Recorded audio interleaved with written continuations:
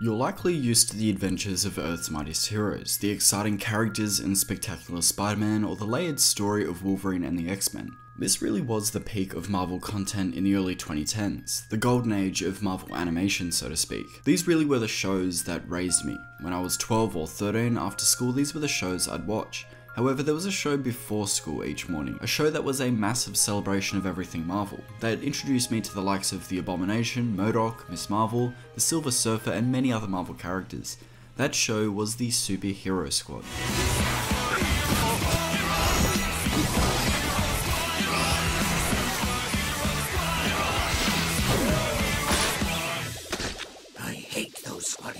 I would say tonally, the Superhero Squad parodies the Marvel Universe in a similar way Brave and the Bold does, tongue-in-cheek poking fun at the sillier aspects of those universes while celebrating them too. If you've seen Brave and the Bold, you know it's an earnest, charming celebration of the Bronze Age of DC Comics, and it doesn't take itself too seriously. So when I say that Superhero Squad makes Brave and the Bold look adult in comparison, you can really see how I'm framing the Superhero Squad. Look, a lot of it is juvenile. Kids' jokes make up a lot of the show. A lot of the show you could passively watch whilst flicking on your phone. So a good question is, Mitch, why are you even trying to bother with this show? What's so good about it? Well, I'm glad you asked. Superhero Squad, when it cuts the shit and sneaks in adult jokes, is comedic gold. When I was a kid, I saw this show likely how it was intended for kids.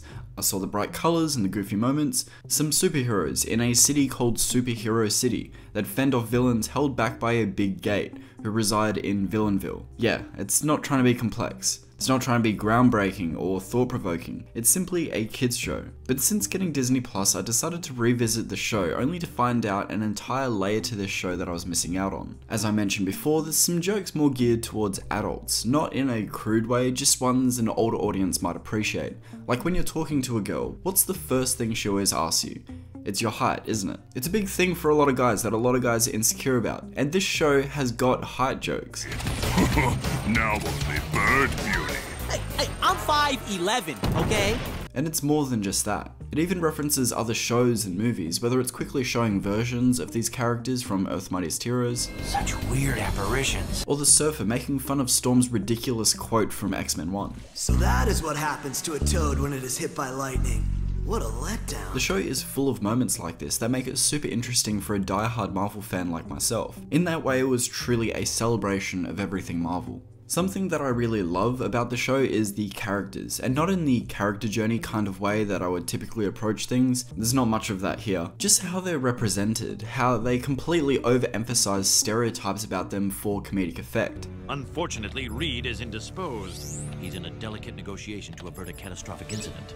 You can't stay mad at me forever. How was I supposed to know that it was your birthday?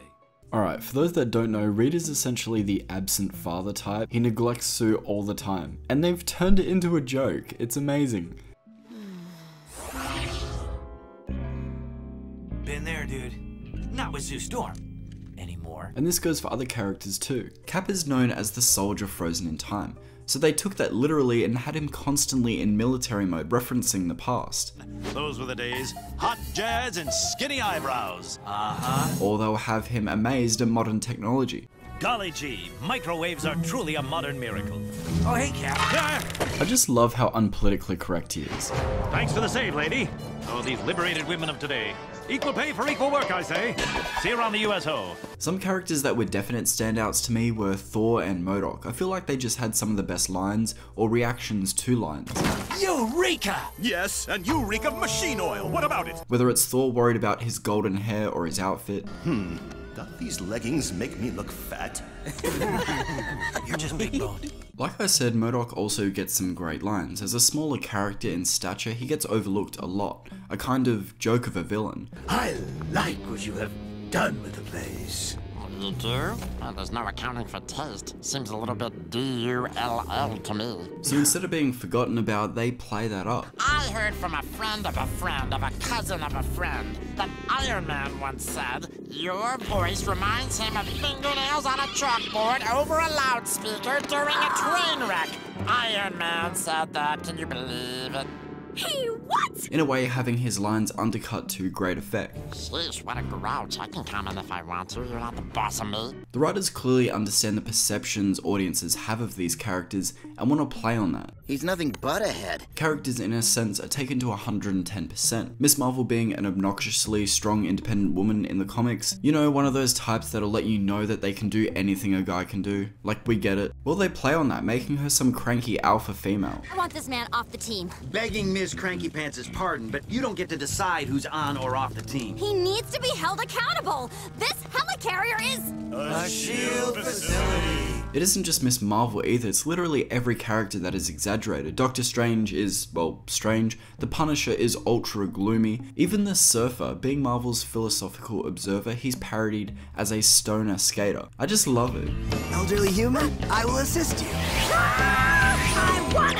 I wanted to cross in the other direction, you, you silver stumble bum. Ah! No need to thank me, good citizen. Do you know how many people my age I could name who are like this? Now, I haven't said much for the story of this show, and I think that's because it takes a backseat to the antics and comedy. Regardless, it's pretty basic for both seasons. Essentially, Doctor Doom and Iron Man are using their forces, competing to find fractals of a broken Infinity Sword. The second season has a similar concept, just swapping out the fractals for the Infinity Stones and the Gauntlet.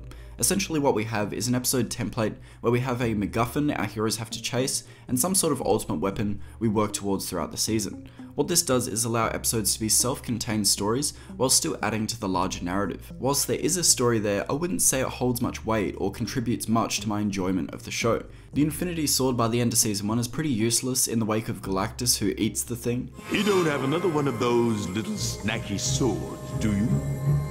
The Infinity Gauntlet arc of Season 2 definitely holds more weight with its moving characters, but it's not something that takes precedence over the jokes or the cameos from the Marvel Pantheon at any point. You know who I am. The man you stole the Soul Stone from. Adam Warlock.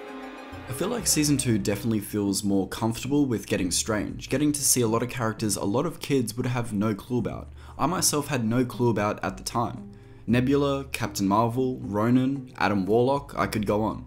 In season 2, they definitely tried to strike a balance between the serious action and a plot with heart and fun. Herbie trying to fall in love in an almost WALL-E kind of way was adorable to watch, as that sits in the backdrop of the action of the episode. So, what you have is a nice balance between the fun and levity and the action and plot. That being said, Herbie trying to shack up with a robot wasn't the only romance that made me smile. Miss Marvel's cringy relationship with Captain Marvel was hilarious to watch, seeing as we got to see that relationship through the eyes of Iron Man.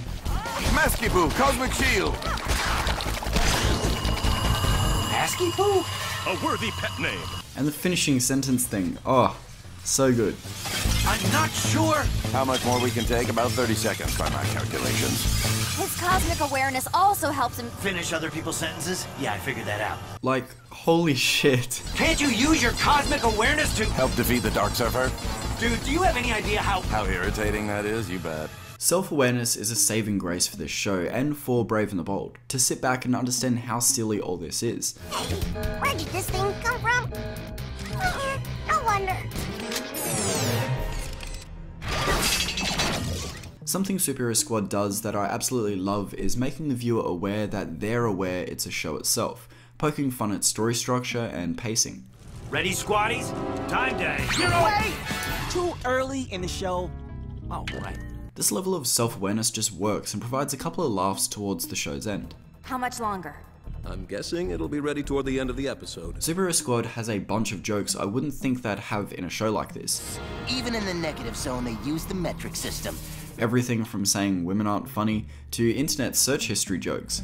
You regularly visit the following websites. Hey, hey! Look, I love it. It's just surprising to see a show so self aware of how dumb it all is sometimes. Like how villains always waffle on.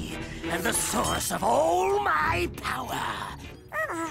If you're worried about people taking it, stop telling people what it is, where it is, and how powerful it is. This sort of ties into the self awareness thing, but I'll always appreciate a show that doesn't talk down to kids. Whilst the visuals may say otherwise, the dialogue, if kids pick up on it, will show that they're not talking down to kids at all.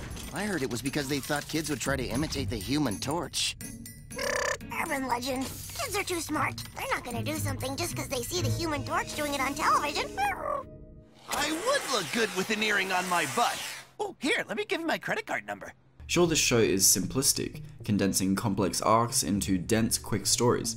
Planet Hulk is a great example of this, a story that they managed to condense into 20 minutes. But that condensing doesn't take from the overall messages of the story or the adversities the heroes have to overcome. Beta Ray Bill earning his stripes being a great example of this. In 20 minutes, making a coherent story where he earns his role as Thor. I would say the Superhero Squad is less of an Avengers show and more of an overall Marvel show. Some episodes more X-Men heavy, some more Fantastic Four heavy, some more cosmic or prehistoric. Regardless, it's a funny show that respects the source material but plays with it to make some funny moments. Some of the funny moments are a little simplistic. Ah! Yon toast landed jam side up! Oh, it is against the laws of both nature and breakfast! Superhero Squad was my first exposure to the larger Marvel Universe. Whilst I didn't understand most of the characters at the time, it allowed me to have a loose understanding of them, so when I grew up and started to see these characters in the movies, I automatically had a grasp of who I was looking at and what to expect. The Infinity Gauntlet! Some assembly required. Look, do I think it's some hidden masterpiece? Oh my goodness, no. Is it some dense layered show? No, but it's incredibly self-aware and does a great job at acting as a celebration to everything in the Marvel Universe. Last thing I'm gonna say is Reptile was a fine point of view character to introduce us to the squad, kinda like how Jubilee was for the X-Men. And sure, Reptile was fine for the first season, but is easily the most boring, just being a Beast Boy ripoff, and I'm glad they kinda got rid of him for season 2, reducing his role in favour of introducing us to the Scarlet Witch. Also, MODOK here is way funnier than the MODOK show, and I'm not taking that back. You're just gonna have to deal with what I just said. Okay, that's me for the video. If you guys want to get in touch with me and have a quick little convo, feel free to message me on Instagram. Other than that, I want to know what you guys thought of the Superhero Squad. Did you guys watch it as a kid? Was it past your time? Let me know in the comments below. I'll be interested to see what you guys have to say. With that being said, I will see you guys in the next video. Ciao.